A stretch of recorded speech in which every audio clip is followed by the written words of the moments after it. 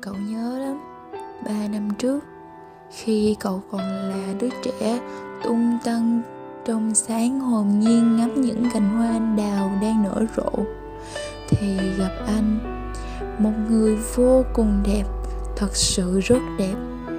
Anh lại gần tiến lại gần và nhặt cánh hoa trên tóc cậu. Tim cậu như muốn vỡ vụn ra từ lúc đó.